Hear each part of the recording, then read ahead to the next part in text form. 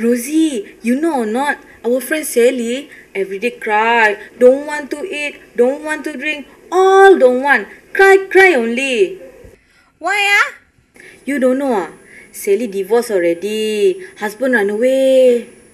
Yalah, her husband always go Selangor. Monday go Selangor, Friday go Selangor, Saturday, Sunday sure lah go. Want to know why ah? Because Selangor lah.